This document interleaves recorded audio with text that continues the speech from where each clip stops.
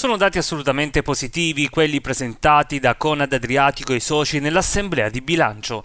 La cooperativa infatti archivia il 2022 con un fatturato di 2.001 milioni di euro, registrando un incremento dell'8,19% rispetto al 2021, un patrimonio netto consolidato di 278,4 milioni di euro e una quota di mercato del 18,13% nel territorio di competenza.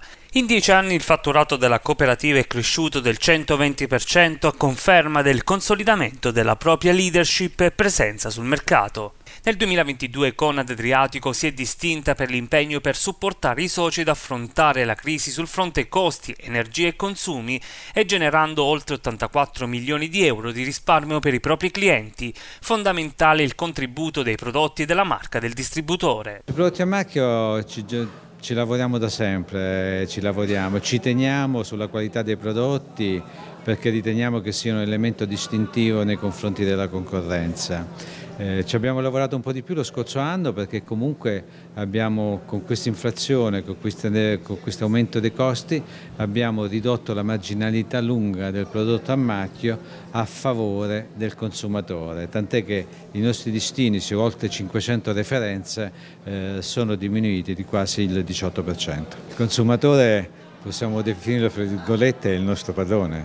Senza consumatore non, non sapremo che farci dei negozi, quindi il consumatore per noi è l'elemento fondamentale su cui dobbiamo rivolgere tutte le nostre attenzioni, quindi coccolarlo quanto è possibile e cercando di offrire il meglio al minor prezzo. è, è fondamentale. Gli investimenti proseguono ambiziosi anche nel 2023 con un importante piano di sviluppo per il quadriennio 2022-2025 da 352 milioni di euro sostenibilità, efficientamento, digitalizzazione e valorizzazione delle filiere locali, i principali driver delle politiche di investimento.